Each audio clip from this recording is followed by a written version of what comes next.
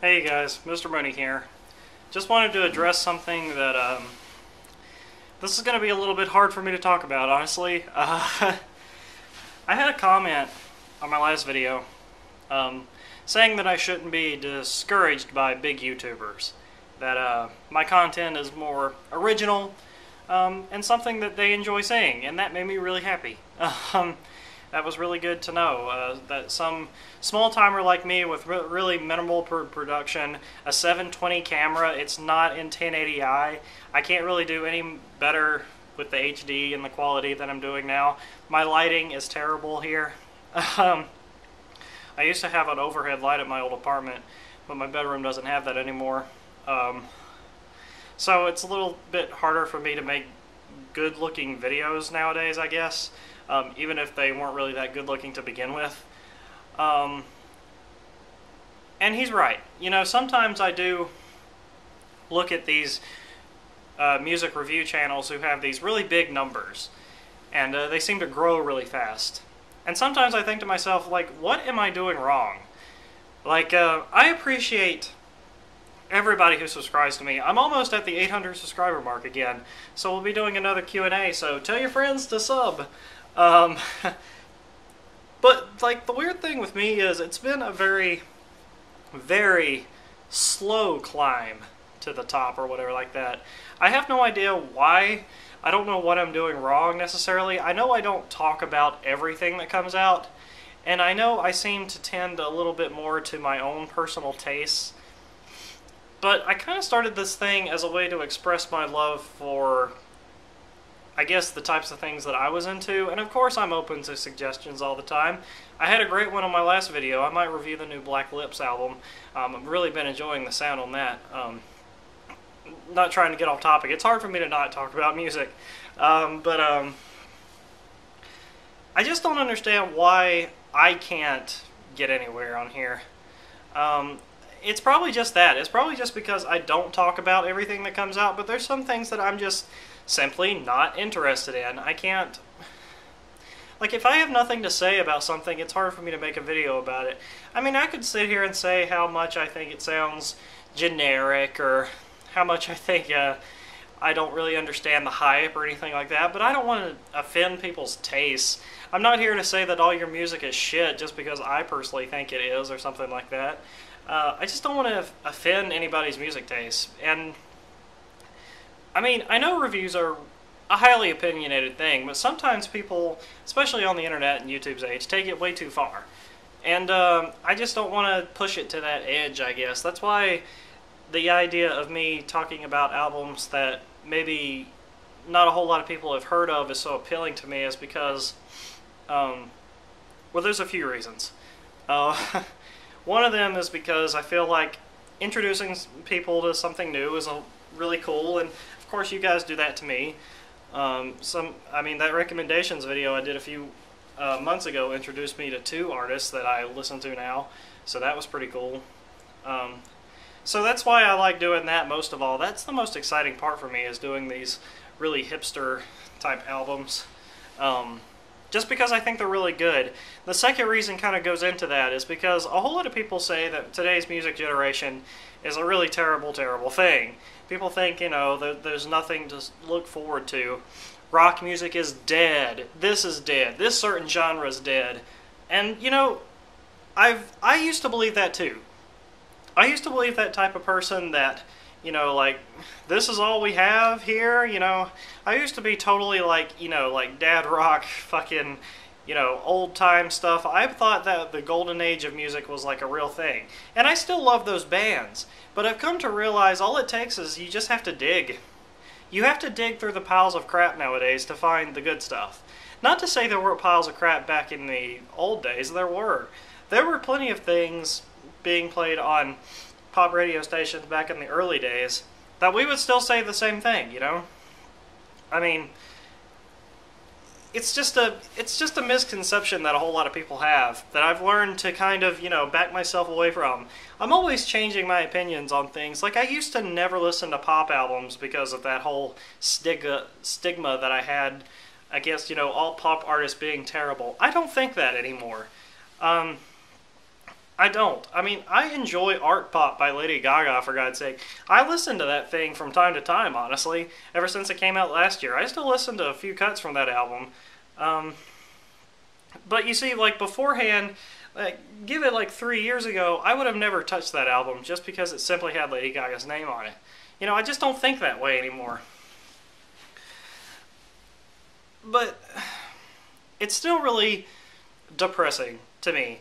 It makes it hard for me to stay motivated to keep making videos when I see my numbers rising so, you know, slowly. I just don't understand why I don't appeal to as many people. I know it's also probably because I have a hard time like phrasing my words a whole lot. I'm sure you guys have noticed it, how I kind of jump over my words and say things that don't make sense a whole lot of the time. And that's because, you know, I go into these reviews and stuff like that totally unscripted. I go into this thing simply after listening to the album a few times and then just turning the camera on. You know, I'm not writing out anything for these reviews. Um, it's just off the top of my head what I think about these tracks, and that's why it sounds so I guess, unorganized.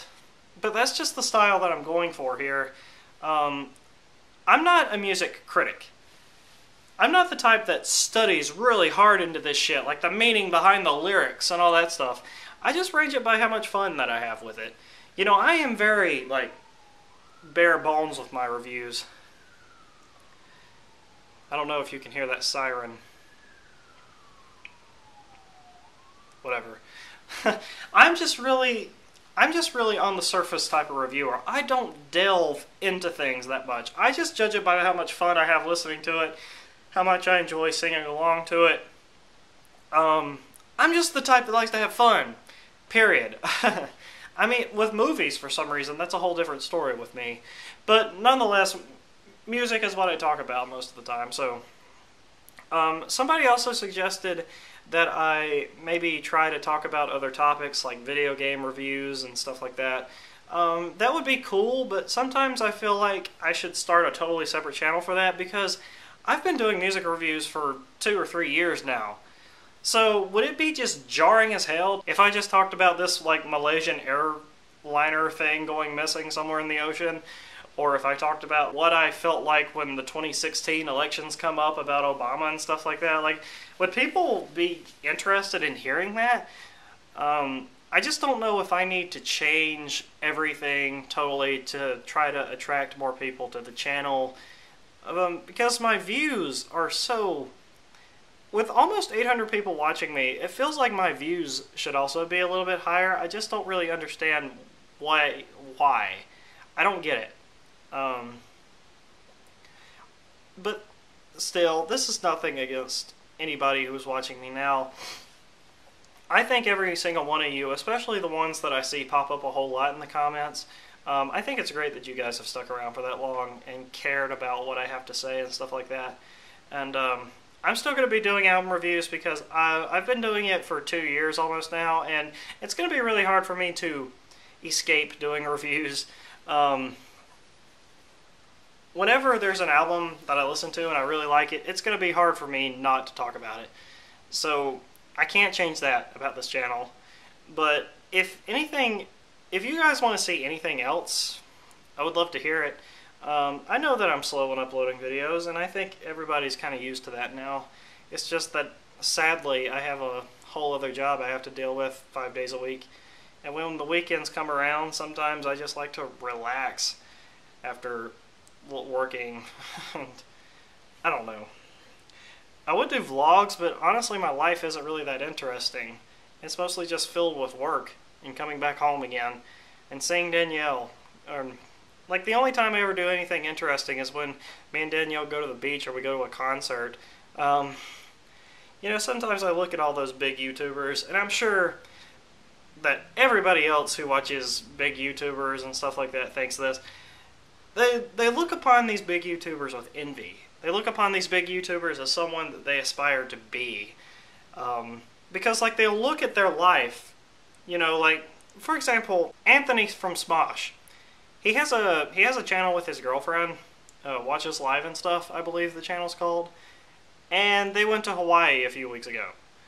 And then like you watch that, and then the video ends, and then you look around your your apartment or your mom's basement or some shit, and you're thinking to yourself, well, my life is just a big piece of shit compared to this big famous YouTuber's life. Like, why can't I have a job where all I do is make people laugh for a few hours, maybe upload a few videos a day or, or uh, per week or something, and then just watch the money come in? Like, I'm sure it goes a whole lot deeper than that, and I'm sure, especially Smosh, works really hard for what they do to push out all the content that they do for their, like, four, five, six other channels on YouTube. But then you watch these vloggers who have very, very minimal production who are really big, and it's like, oh, these people haven't made. Like, once a day, they have to edit together a three minute video, and then, you know, that's it. You know, a 100,000 some views the money rolls in and they don't have to have a job. They're free to be with their friends and their family while continuing to make people laugh. Whereas me, I, was, I might be stuck at the radio station on Christmas Eve and I can't see my family or I can't see my fiance. And life is what you make it, but sometimes we're just not all dealt the same hand. And it's really, really depressing I know that that's a really small percentage of people. I know the majority of people, well over the majority of people in this world, are stuck in the same situation that you and I are in watching this video right now. We're not internet famous. We will never be internet famous. And we're never going to live the carefree life that these big YouTubers seem to live. And it's really depressing. And I feel like YouTube is going to kind of cause people to, you know, I think that causes depression in some people watching these big YouTubers. I know it does for me. I, I feel envy every single time I watch a vlog like this with big YouTubers making vlogs. Um,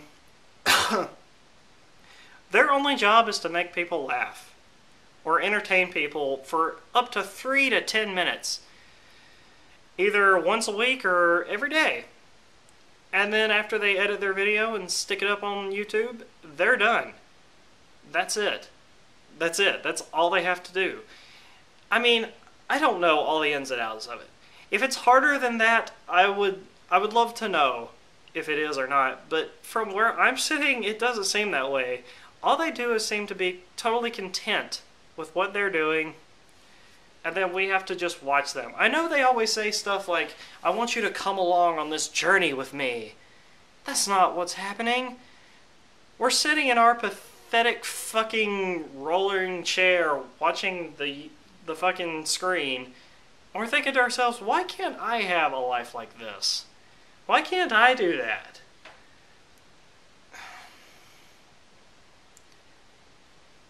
You know, I know I know everybody watching these vloggers feels this way. Um I just know they do. I mean, people say it in the comment sections all the time. This fucking kid, I didn't even hear this guy, this Tyler Oakley guy. Um, he, he put up a video about things that he did in the year 2013. He put up this really long montage of all this stuff he did. I mean, like, he was working, making videos with huge YouTubers. He was hosting things with MTV. He went to New Orleans for the Super Bowl. People would die to live the life that these people live.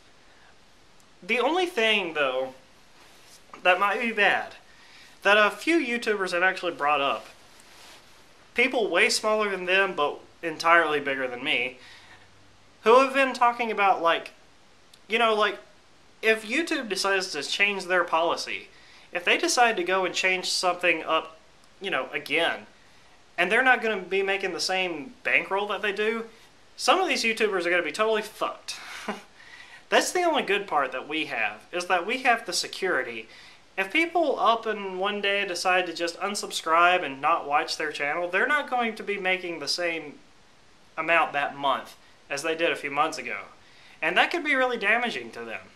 People need to have a backup plan when they do YouTube, I feel like. Because if you don't, you could end up in a ditch somewhere. Um, I know The Amazing Atheist does this. The Amazing Atheist, his full-time job is YouTube, and he has absolutely no backup plan. That's why he uses that Patreon account that I created a few months ago because sadly, I was trying to get to a point in my life where I could also, you know, just do YouTube videos. I would put up so much more content if I didn't have a job. but, you know, the long hours that I put in, it makes it a little difficult sometimes. Um, but in the end, you know, I realized after listening to people, that's wrong. Do not e-beg. Do not e-beg. You're already getting money off of your AdSense accounts. Do not beg your fans for more people. The Amazing Atheist, all he sees is dollar signs in his viewers. That's it. Period. I mean, he could say, and then he'll try to sell his book at the end of every episode. That's another thing, too. He just he just wants and wants and wants and takes and takes and takes all he can, and people give it to him. People give it to him. It's frustrating. it's frustrating to say the least. So, to answer back to that comment, yeah, I do get discouraged a whole lot, and sometimes I feel like stopping YouTube altogether because of it, because I just do not understand what I'm doing wrong. And that's that's really the biggest point of this video. I went on way too long on a huge rant with this. But, um, I, I, I, I'm just telling you guys how I feel. I don't know what I'm doing wrong. But I'm just going to keep on doing what I'm doing because, you know, I like how the videos turn out most of the time. I like how I kind of give my opinion with the visuals that I do and stuff like that. I'm probably not going to change that much, and I'm not going to stop doing YouTube. I tried that once before, and I came running back because I miss sharing my opinions, no matter how little of people watch them. Um, it's just fun for me, I guess, to actually be able to say something about an album that I'm loving. Um, so, you know, I'm not going to stop.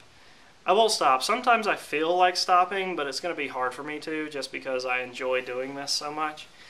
But um, yeah, just wanted to give my two cents out there. Um, I'm not really sure how to end this. I know it's really depressing, and if you stuck through all of this, congratulations. um, but uh, I'll see you guys next time. Mr. Moony One Two Three Five, out.